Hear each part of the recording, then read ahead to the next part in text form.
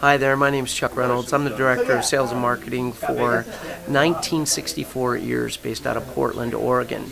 And we um, are introducing a new product called the Adel series. It's a line of products, um, the A6, the A10, and the A12.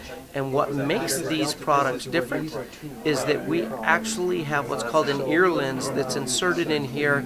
So imagine something sounding louder, but putting lower stress on your eardrum so that actually helps preserve your hearing.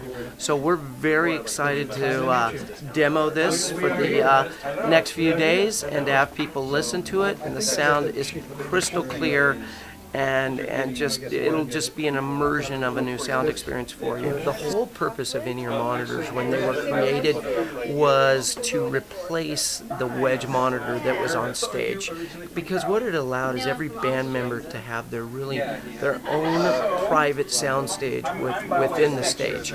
And when we started out doing this, we were very proud of what we were doing because we actually thought we were preserving hearing because we isolated the ear and that made it so cool. Um, and, and wedge monitors got so loud, and it, it, that ambient noise was just, it was doing a tremendous amount of damage. A couple years ago, we, we received a study from Vanderbilt University that said, well, that's not so much the case. In-ear monitors create something called pneumatic pressure that puts a lot of pounding on the eardrum. And you could be doing, and are most likely doing just as much damage, and based on the level of the volume, you could be doing more damage.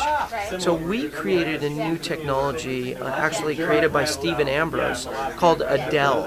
And really what it is, it's, it's an ear lens that we've inserted inside the in-ear monitor. So instead of your eardrum taking that stress, this membrane or this, this ear lens, it gets transferred to that ear lens. And so imagine something that might be 10 dB lower than you're used to listening to now, but sounds 10 dB higher and crystal clear sound.